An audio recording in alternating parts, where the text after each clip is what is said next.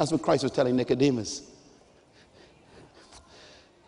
Matthew 6:33, I call it his priority. Christ's priority was not food and clothes and car and house and all the stuff that we go after. He says, but seek what? First, the kingdom of God and his righteousness, and all of these things shall be what? Added unto you. He says, your priority should be seeking the kingdom. I did a research on the word seek. It's an amazing word. Matter of fact, in my book out there on uh, priority, uh, it's called Kingdom applying the kingdom, I did a, a, whole chapter on seek because the word seek that he used is a powerful word. It means to pursue, it means to, to, to, to run after, it means to study, to explore, to get to know. It's a powerful word. In other words, you don't just sit back in a meeting like this and say, Well, I want to know the kingdom. You got to get up and go look for it, search for it, research it. Why? Because you don't just enter a country and know the country. If someone told you right now that you you should go to know America.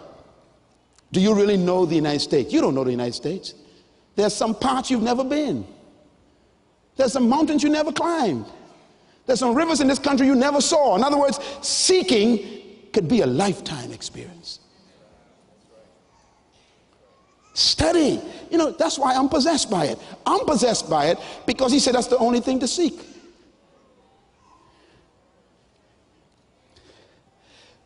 I was religious and in bondage. I owed everybody. And I would sing in every meeting, the Lord bless me, the Lord love me. And I had to go and deal with those people I owed money to. Man, it was pressure. And there are people sitting here today who may be in the same predicament. I don't know. Maybe you, you, you sing all these wonderful worship songs, you know, listen to the good preaching, and then you go back to a life filled with pressure. Can't pay your bills, can't get the cancer out of your gut, your kids ain't doing right, your marriage ain't working right, and you're still coming every week just singing these songs. Why? That's the way I was. And that's why we come up with gimmicks, because the thing ain't working. So we come up with gimmicks. And we kind of religiousize the gimmicks so that people could accept them. When Christ says, just seek the kingdom, and all these things will be added to you. My debt free life was not a result of religion. I remember, man, I, I used to come and, you know, you know, if you give God 10, he give you 20. You know, that whole stuff, man. Hey, I grew up around it. It doesn't mean that it doesn't work, but the motivation that you have for it negates it. You don't serve God to get stuff. Citizenship attracts stuff. Can I say it again? Citizenship in the kingdom attracts the stuff. That's why it says it shall be added. You ain't got to go pursue it, it comes toward you when you line up with the kingdom. When you get baptized in a in a public service, that's why baptism is always public, because you are publicly changing schools of thought. You actually line yourself up to attract what you need. Baptism is powerful. Baptism sets you up for attraction. It's not a religious experience, it is a national experience. You're becoming a citizen. Jesus said, Don't worry about tomorrow if you seek the kingdom. Do you know, uh, this is amazing. Remember, I told you last night that wealth in the kingdom of God is not something you pursue? Because in the kingdom of God, wealth is spelled access, A C C E S S, access to everything. My son called me this morning, woke me up this morning early. He said, Dad, uh, you know, he's in New Jersey getting interviewed for jobs. And he said, I just bought him a car and everything. So he said, Dad, uh, I want to, uh, I want to know whether I should get full insurance or, you know, just liable insurance, etc. So I said, son, get full insurance. He said, okay. He said, I just want to know so you'll know what to deposit in my account. That's important. It was a kingdom experience.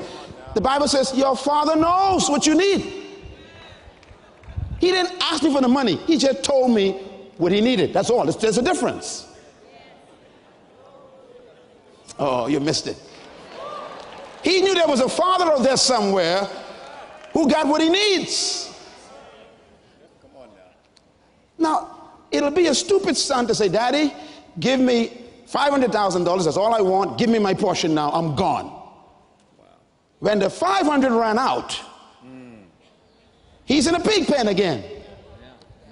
What you want to do is not have money, you want access.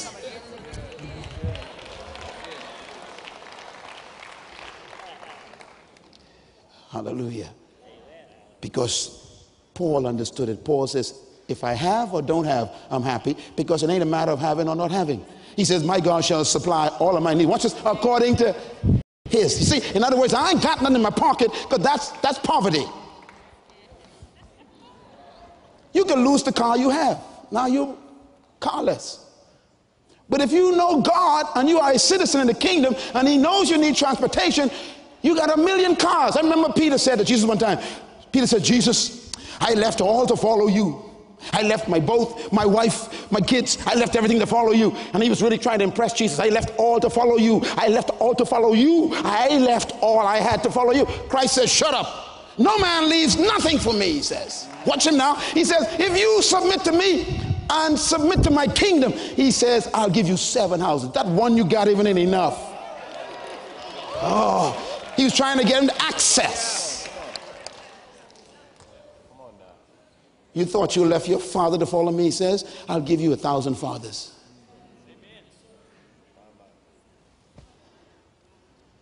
The kingdom is a different mentality. Here's one. This one is amazing. Matthew 10, verse 7. Read, everybody read, go. As you go, preach this message. Now he's very specific because he knows you'll have your own messages. We're reading the Bible here. So, okay, you're in charge of the Bible school here, this church. My question is, is there a class specifically on what he said to teach? Or are you teaching them all kind of other people's stuff? Get to read that. Read what he said. Don't argue with me. I mean, read the Bible, that's all. But the problem is, if the concept is not in your culture, you avoid it. And that's the problem. Kingdom is not in the culture here. So you, you, you, you teach other things maybe because you don't understand the concept. That's why Christ would, would have me come into this, this event. This is word explosion. Word explosion means it's the place that people are supposed to come and get his word. So the question is, what word are they getting when they come here? And he says, you make sure they go with that message. My being here, it, listen, this, this is my vacation week. I'm on vacation. And the Lord says, Go there. I said, But God, I'm tired. I've been working for eight months nonstop. He says, You tell Billy Joe yes. Why? Because the message must be in this place. If they claim it's going to explode the right word. I am not looking for anywhere to preach. I have one of the largest churches in my country, and they miss me every Sunday. I don't even be there Sunday. Why? Because I have to be out ministering, and, and they long for me. I'm on assignment. I am aware of who I am. And I wish God had chosen someone else to do this because when you teach the kingdom, religion attacks you. Jesus Christ had no difficulty with sinners, no difficulty with, with wine bibbers and, and alcoholics. He, they were his friends. It was the religious people who hated him because his message clashed with religion. He says, You preach the kingdom. When you go, preach this message the kingdom. You know, I have a theological degree from Oral Roberts University across the road. I got a degree in theology and there was not one class on the kingdom. Am I rejoicing over that? It makes me sad. They gave me a certificate. They certified me to go and preach. That's what graduation is. They certify you. How can they certify me? I never had a, a class on the message.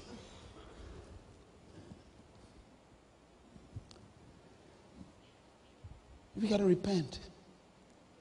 What is repent? To change our thinking. As you go, preach this message, the kingdom of heaven. And then he says, and then show the evidence. Heal the sick, raise the dead, cast out demons, heal lepers. He says, Why? That is the proof that the culture of the kingdom is present. You know, uh, I was just with Benny Hinn. We were chatting last week, and I was telling him, I said, Look, do you know what your ministry is? You don't even show what your ministry Your ministry is kingdom culture. There it is right there. When, when a miracle takes place, it is evidence of kingdom culture being present. Because in the kingdom, there is no demon possession, there is no sickness, no disease, there is no leprosy. So when it hits an area, boom, everything that's not like it moves away. Your healing is going to be evidence of God's presence of his culture in your life. That's why you will be healed today. You leave this room free from diabetes and high blood pressure and heart problems and all the stroke issues. Why? Because if you if you understand my listen carefully to my words, the words can actually heal you.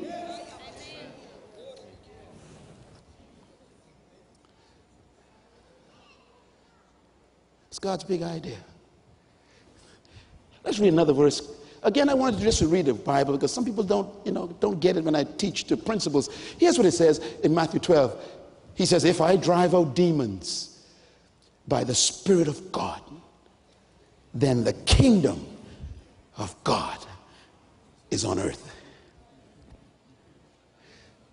Miracles are a sign that the culture of heaven is present. The kingdom is here. Here's another one Matthew 13, 19. This one is very dangerous. Now, let me explain this verse. This verse is about a parable that you have heard a lot about. You've probably been preaching on it. You need to go back and read the parable again because I think, you know, when I was teaching this parable for years, I taught it incorrectly. Matter of fact, Jesus didn't explain too many of his parables, but this one he did. It's the parable of the sower.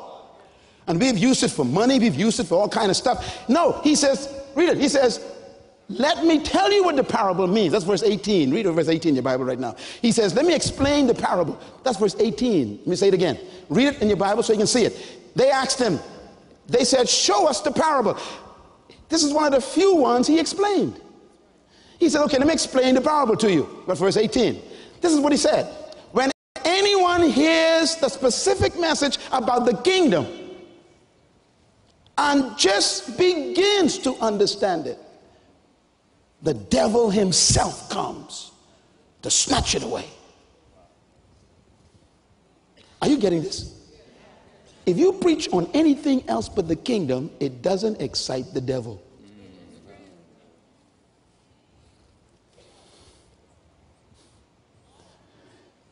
And that explained to me why the kingdom message has been stolen from the church the devil is so glad we ain't getting it because it's the only one he's afraid of, Jesus says. Notice, it didn't say he sends a demon, it says the evil one himself comes.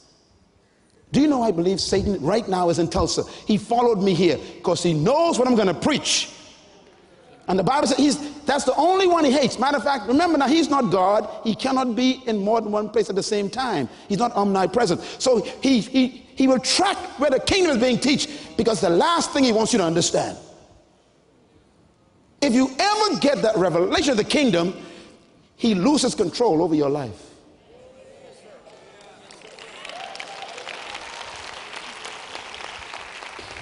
Tulsa is the center of the factories for messages for the church. And what hasn't come from Tulsa yet is the one the devil is afraid of. And that's why God has sent this message to this place, because this is a very important conference. It's called Word Explode. This is where the word's supposed to explode from. And God's okay. I want the word of the kingdom to explode from here. Poof. That's why you hear from your job today. You left your job because God says what you're going to hear is more important than your job. I mean, why would Bob come here? Bob is influential. He has a powerful ministry. God says, Yes, I want you to just adjust now and follow my instructions specifically. You know, we preach the effects of the kingdom instead of the kingdom. One of the effects is prosperity, healing, joy, peace, All them good things. We preach those rather than where they come from. That's why Christ says, don't seek food and clothes and car and house. He says, seek first the kingdom. Once you get the kingdom, those things become automatic. They are part of the culture of the kingdom. The kingdom will be uh, insulted if you are not prospering. Because prosperity is its culture. Let me just say one thing here because I want you to get this. I was born under a king in 1954. And here's what you experience under a kingdom. Can I say this? Please get the books on there, please. Get the whole set because you got to, and, and please study it because you have to get it in your mind. A king is different from a, a, a president. If you can't pay your light bills or your water bill or your mortgage, or you even lose your house, some of you are losing your houses right now, President Bush really doesn't care. It doesn't affect the president. Company shut down, I understand, this past week in your country, where over 200 people laid off. President Bush goes to bed in his nice bed. It doesn't affect him personally. Because in democracy, you on your own. Watch this, listen carefully. In a kingdom, in the book out there on rediscovering the kingdom, I give you 26 specific principles of the kingdom. They're very important. That's why Christ is the king. Here's one of them. In a kingdom, a king's reputation is determined by the status and the standard of living of his citizens. Let me say it again. This is the kingdom principle. A king's personal reputation is determined by the quality of life of his citizens. That's important to understand. That is why you don't beg in a kingdom, it's an insult.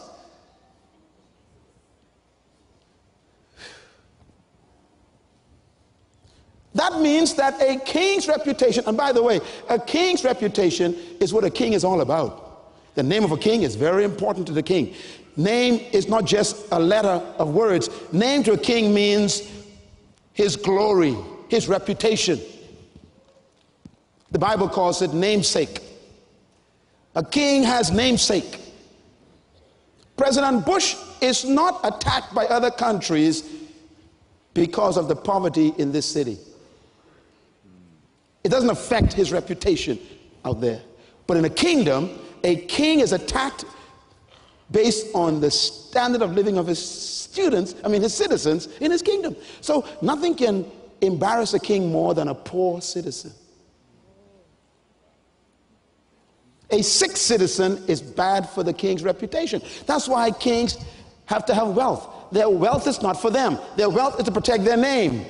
Oh, I can't understand it.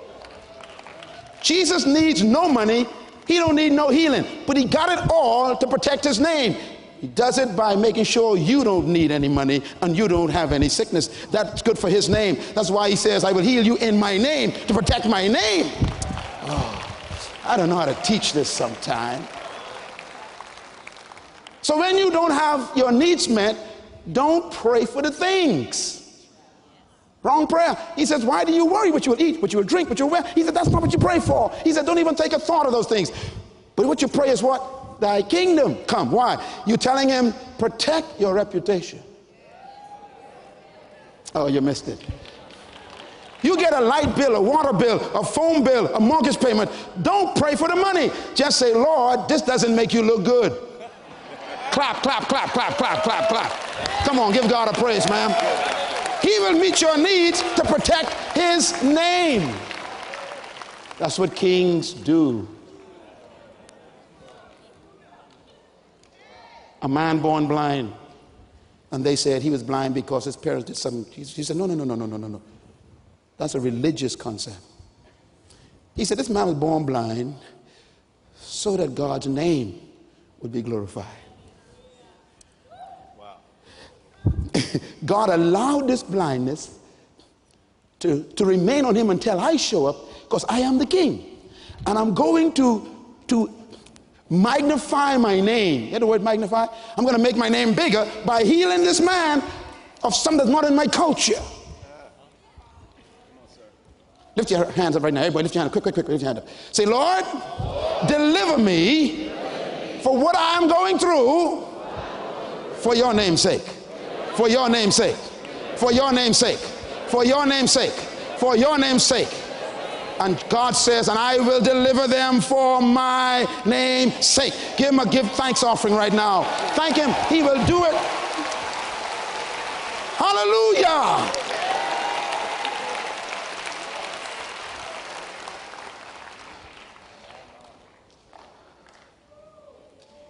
Satan doesn't want you to get this message.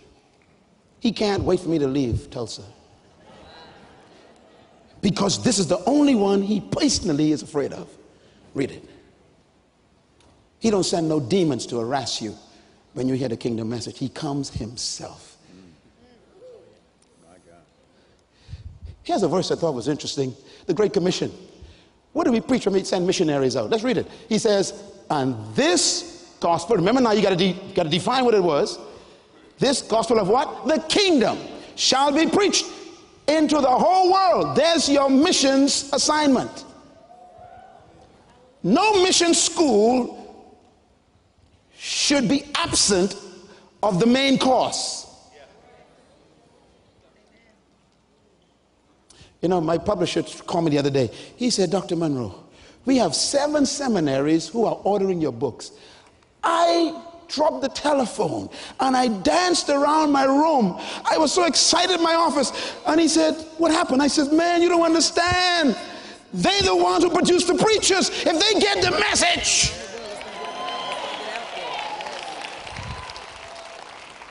Oh, when I was in university and college, in seminary, I had to read every word of St. Augustine. He was a Catholic priest. I had to study Brahm. He was a German theologian.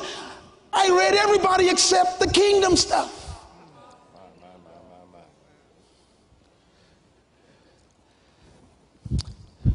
Let me ask you a question. Would you finance the mission project of a Muslim imam? imam? Would you? Why not? Because you don't agree with his message.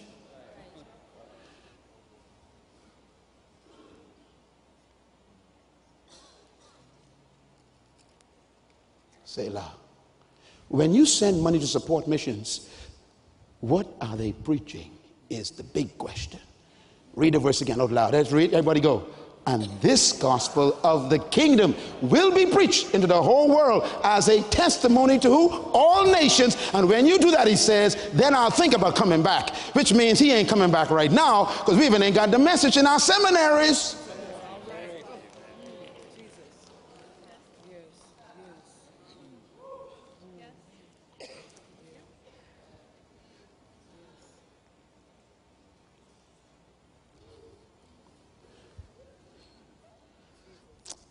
God, why don't you choose somebody else for this job?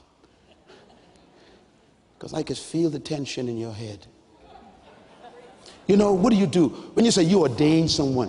What are you ordaining them to go and tell the world? He says specifically what they should be telling them.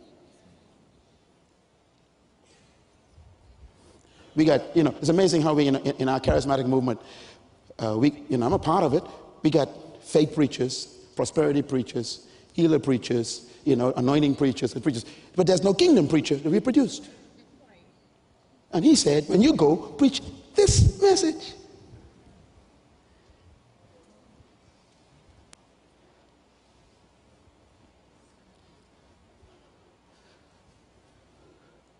I hope I'm invited back.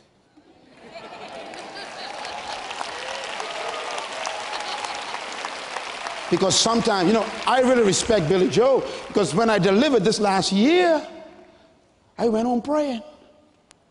I said, God, why me? I want to preach what they like to hear. He says, Look, you know the message, you preach it.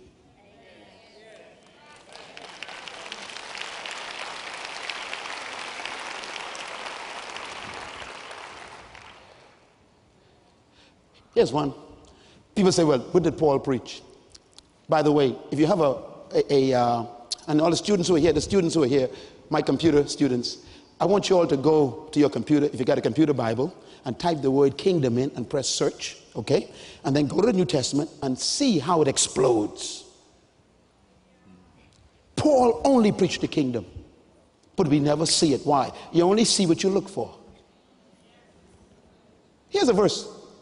It says, They arranged to meet Paul on a certain day, and they came in even larger numbers to the place where he was staying.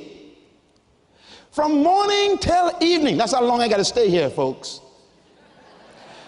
From morning until evening, he did what? He explained and declared to them what? The kingdom of God. And then he tried to convince them about Jesus from the law of Moses all the way up to the prophets. In other words, his, the kingdom is so complicated to teach, you can't just teach a 30 minute sermon. Why? You're explaining a country. You can't explain a country in 30 minutes. That's why Christ spent three days teaching the kingdom, and the people food ran out. Why? You talking about a country they never saw and lifestyle they never experienced. You got to explain that, and that is so complicated. You need time to sit and think. Try and eh, explain America to somebody. Tell me how long it takes. I got to explain to you the kingdom of heaven. It's not a 30 minute sermon. He spent all day, all night Look at this one. I thought it was interesting. Paul's passion. Acts 28, verse 30. This is Paul's last days on earth. He's about to die. He's under house arrest. And here's what it says about Paul. Read with me. Acts chapter 28, verse 30. Read. For two whole years, come on, Paul stayed there in his own rented house and welcomed all who came to see him. Boldly and without hindrance, he preached you ain't never seen that verse before in your life. That's the problem. You only find what you look for. Paul understood the kingdom more than Peter did. Because Paul was a citizen of Rome. Oh, glory, hallelujah. You remember when they were going to whip Paul? Yeah? And they began to whip Paul. Whoop! Paul says, You know, I'm going to use my citizenship now. Tell your neighbor, I'm going to use my citizenship right now. When the devil begins to whip you, come on, glory, hallelujah, and begins to attack you, brother Bob, you got to pull your passport out and say, Hey, do you know who I am? Come on, give God a shout.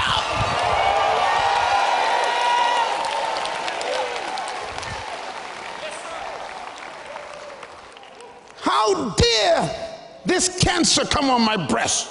Don't you know who I come on. A lot of Christians have died unnecessarily because Christianity is a religion. It doesn't kick into rights and power.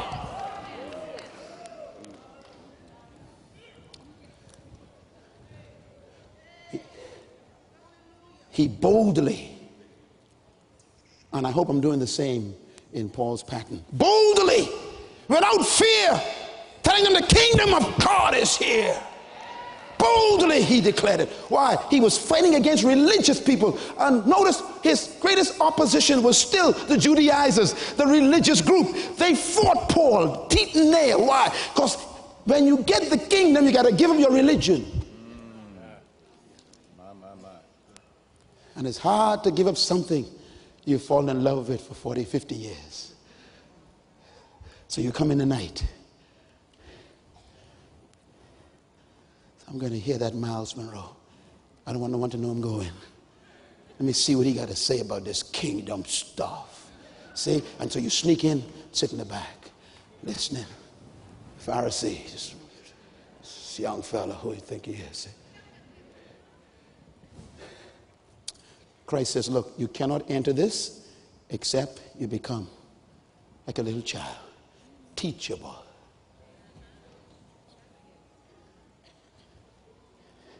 Nicodemus had to give up all of his theological training.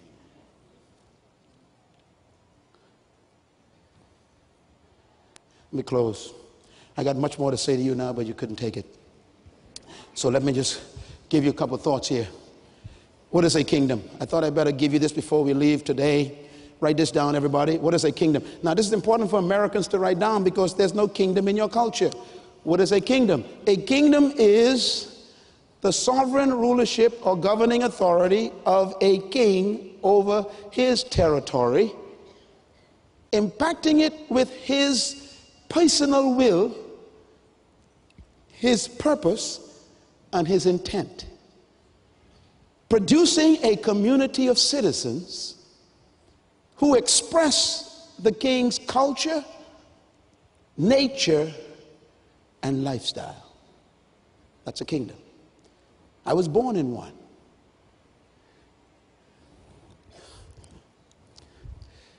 In a religion, you follow rituals and you attempt to obey some laws. In a kingdom, it's different. In a kingdom, you take on the very personality and nature of the king.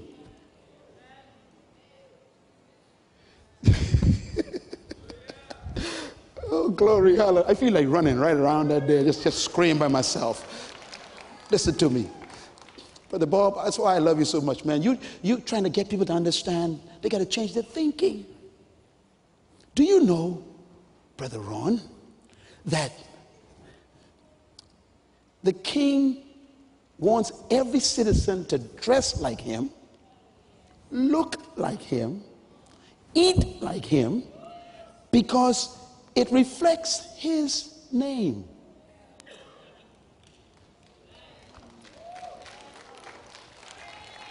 Do you understand that? That's why you start praying for money. You don't pray for money. You pray for kingdom citizenship. You remember, I'm sure you remember this, when, uh, by the way, uh, to, to understand the whole context, you understand what kings do. Kings compete with each other.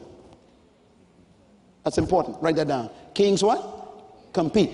That's what kingdoms do. They compete for each other's glory.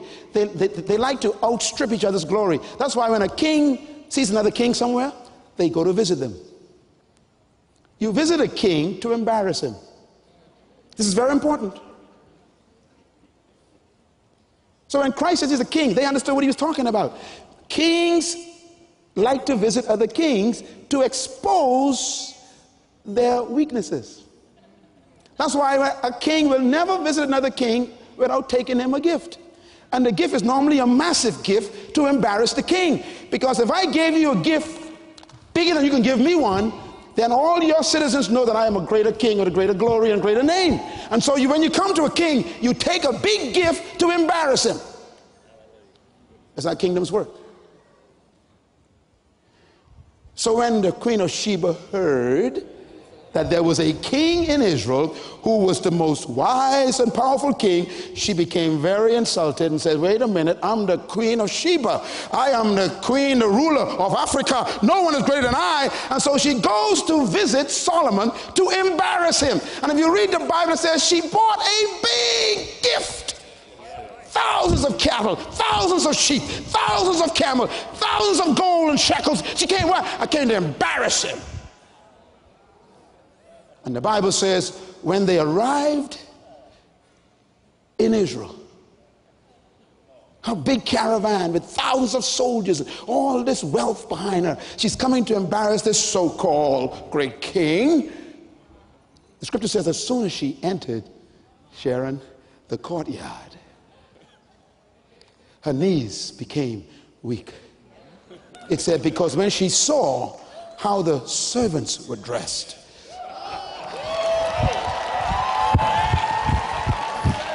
y'all shouting yet. Hallelujah. When she saw what the servants were wearing, the Bible says her breath left her. And then when she got into the palace, she saw what the servants were eating on silver plates gold fork. She said, My God, if the servants eating on silver plates and golden fork, I don't want to see the king no more.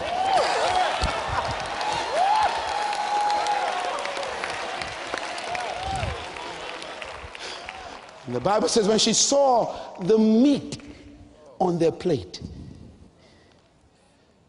she knew she had entered the courts of the greatest king.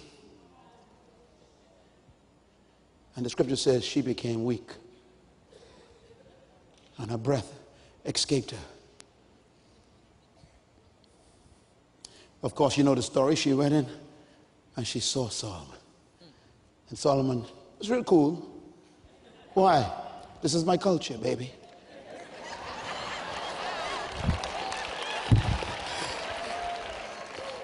Oh, Sister Sharon. When they tell you, you guys have personal bills? No. You driving that nice car? Yep.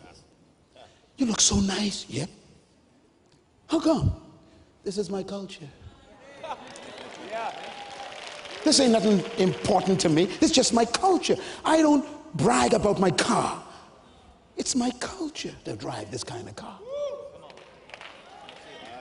Why it look so nice? It's my culture to look like my king. His name is what? Majestic. I got to look majestic. Come on, give God a praise.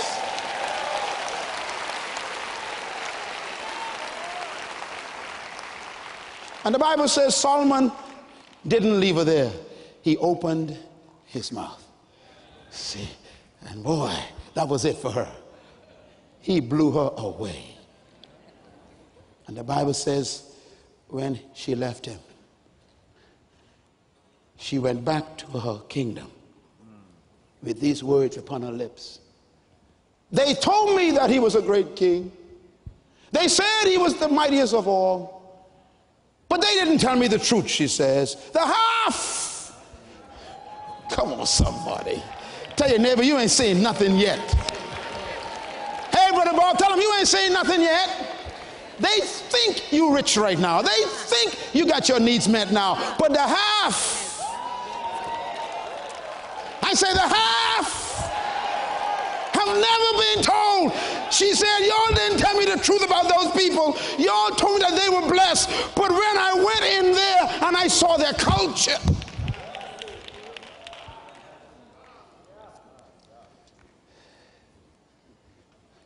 I forgot the most important part of the story. It says that when she was about to leave, Solomon said to his aides, Give her a gift.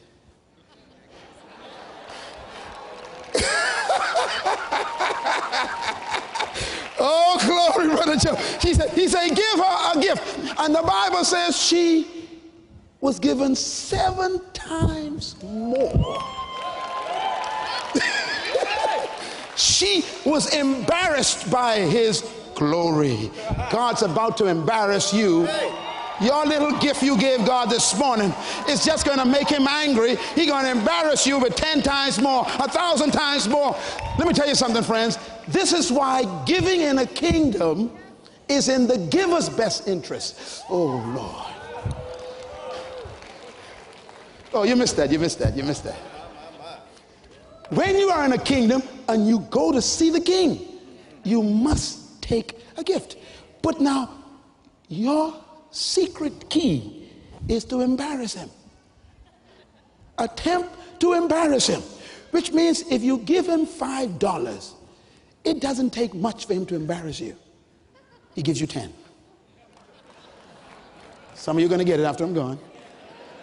That's why the Bible says if you give bountifully, you impact the king.